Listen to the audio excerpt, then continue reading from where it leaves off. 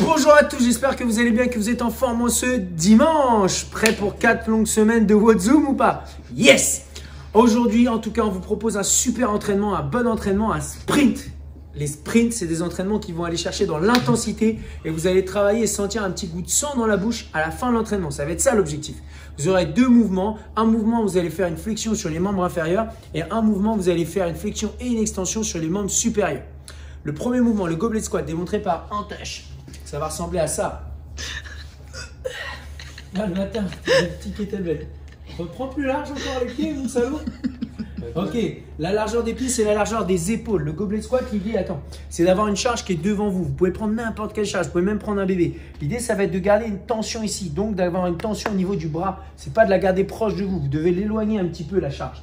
L'objectif ensuite, ça va être d'engager vos abdos forts et d'attaquer le mouvement en poussant les hanches vers l'arrière et vers le bas pour aller plus bas que la ligne des genoux, comme ceci. Et ensuite de revenir en position complètement debout avec les jambes clairement tendues. Vous allez faire en sorte de regarder toujours devant vous pour rester le plus droit possible. Prenez une charge qui vous, vous permette de faire les trois tours unbroken. Le premier tour, vous avez 21 reps, le deuxième 15, le troisième 9.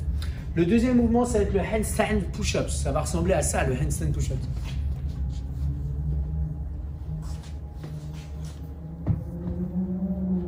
Yes, ou en keepings. Ok, en option, ça serait le push press. Et après, j'explique. Du coup, le kettlebell jaune, il sert à rien du coup. Non, il est bien sûr. Ok. Tu peux relâcher Antoine. Donc l'objectif là-dessus, ça va être de faire en sorte de partir d'une position où vous êtes ici et d'amener vos bras dans une position où vous êtes ici. Je parle pendant la démo, excusez-moi. Du coup, de là à là. L'idée, ça va être d'avoir les coudes légèrement vers l'avant, que vous soyez sur le handstand push-up, que vous soyez sur le push press, et d'arriver avec les bras complètement tendus en faisant en sorte de repousser la charge. La charge du kettlebell sur le press ou la charge du bodyweight sur le handstand.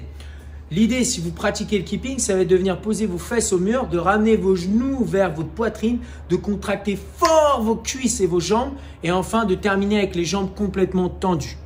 Maintenant, en warm-up, vous allez avoir un petit travail.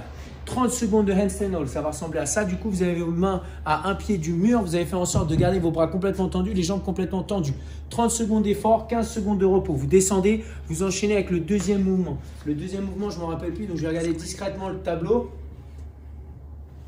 Ah, l'air squat, c'est vrai. Du coup, on va travailler l'air squat. Vous allez vous concentrer à casser la parallèle, donc la hanche vers l'arrière, vers le bas. Ce que vous allez faire aujourd'hui, vous pouvez donc travailler là-dessus, mais vous pouvez aussi travailler face à un mur pour permettre d'améliorer un petit peu l'axe de votre squat dans le plan frontal, dans le sens où vous allez répartir votre poids du corps sur l'avant et l'arrière du pied. Vous devez être clairement au milieu, comme si vous étiez entre deux parois. Ça va donner ça. Yes. Et ensuite, on remonte, toujours en gardant la courbure du dos neutre sur l'ensemble du mouvement. Une fois que vous avez fait vos 15 secondes de repos, vous repartez avec 30 secondes de hollow hold. Ça va ressembler à ça. Antoine, il adore rock, c'est auto hollow rock. Qu'est-ce qu'il dit discrètement dans le micro Ok, hollow rock, on fait hollow rock. Ok, avec les genoux fléchis, Antoine, en option. du dos, c'est bien. En option, ouais. Tac. Ok, excellent. Tu peux relâcher. Donc l'objectif, ça va être de vraiment faire une bascule de l'avant vers l'arrière en faisant en sorte d'avoir cette zone-là toujours actif. Vous devez pas relâcher, revenir. Vous devez rester actif et bouger. C'est important pour maintenir votre midline active. Ce que vous allez retrouver quand vous allez faire des jerks, ce que vous allez retrouver quand vous allez faire l'after party, par exemple, ce que vous allez retrouver quand vous allez courir, etc. etc. Maintenant, l'after party, justement, vous allez travailler le handstand walk. Le handstand walk, l'idée aujourd'hui, ça va être de commencer à faire, bah, soit vous pouvez refaire le 21.1, c'est une bonne alternative, faut dire la vérité, pour travailler le handstand walk. Sinon, la bonne idée, c'est de se mettre contre le mur, face au mur et de faire des déplacements latéraux. Ça va ressembler à ça. Bah, lui, il s'est mis dos au mur, mais ça marche aussi. Non, non, ça marche aussi, t'inquiète, Antoche. Pouah, la montée. On va faire des déplacements latéraux de cette manière-là. Ok, tu peux redescendre, Antoine. Donc ça, ça peut être une première approche. L'idée, ça va être de faire en sorte de repousser le sol. Là, aujourd'hui, on va vous demander de regarder le sol parce que c'est difficile de rester équilibré de cette position-là. L'idée, c'est de regarder le sol pour regarder où vous allez et de faire en sorte de garder vos bras complètement tendus et de déplacer vos mains de cette manière-là. Donc, vous allez jouer avec les épaules en les levant et en les amenant dans vos oreilles. Vous pouvez le faire en étant sur place et faire quelques pas. Si vous avez 3 mètres chez vous, vous pouvez commencer à faire ça. 1, 2, 3 et je descends et je recommence.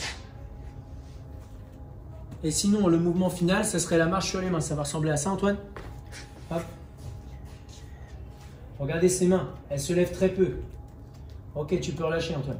Donc oui, c'est pas une marche sur les mains parfaite à la Alizou 2B de Alizé du sud de la France, mais c'est une marche sur les mains qui est quand même efficace et qui vous permet de vous déplacer. Le but, c'est d'amener les épaules dans les oreilles, garder les bras tendus et de se déplacer avec les mains qui frottent le sol le plus possible. Maintenant, vous essayez de retrouver le holo que vous aviez tout à l'heure allongé le plus possible. Bien sûr, on est un petit peu comme ça, mais au fur et à mesure, vous allez gagner en technique, vous allez commencer à resserrer de plus en plus ça et ça va vous aider. Merci Cassie pour la vidéo. Merci Antoine pour les euh, démonstrations. Merci moi-même pour avoir parlé et dit que des conneries. Et du coup, on se retrouve ce midi pour le Zoom avec Lucas sur le numéro de réunion 21 15 9 75 001, mot de passe CF Louvre. Et enfin, vous pouvez retrouver également le euh, Zoom avec Eugénie à E à E 17h. Merci.